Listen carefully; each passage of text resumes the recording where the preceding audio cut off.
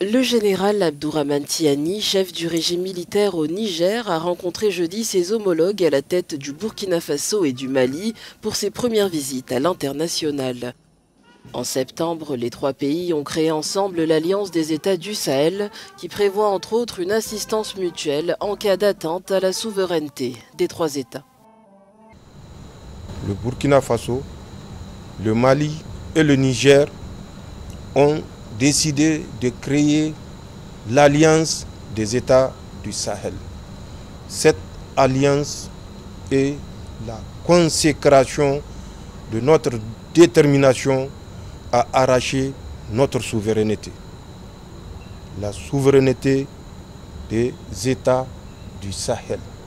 Pour que le Sahel ne soit plus une zone d'insécurité, mais une zone de prospérité pour les biens de nos peuples.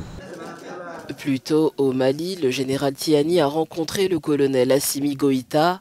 Bamako a ainsi communiqué sur la convocation de deux réunions ministérielles visant à définir les opérations de l'AES.